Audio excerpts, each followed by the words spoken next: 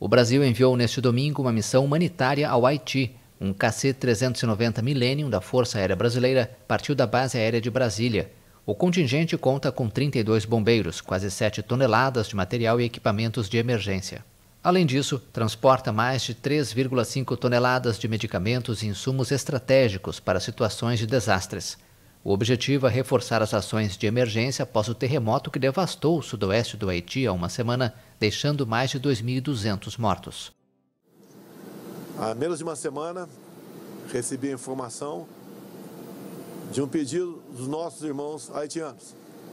Rapidamente, com as Forças Armadas, com o nosso corpo diplomático, entre outras instituições, essa missão foi rapidamente programada.